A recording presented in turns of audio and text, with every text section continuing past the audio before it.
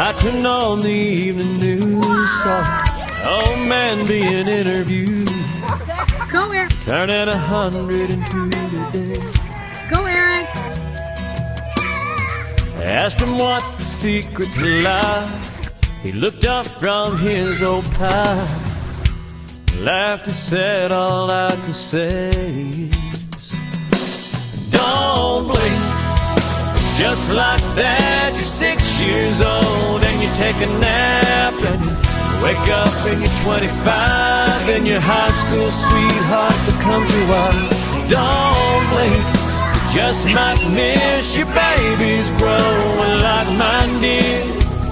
Turning into moms and dads, next thing you know, you better have a 50 years is there in bed. And you pray and God takes you instead. Trust me, friend, a hundred years goes faster than you think. So don't blink,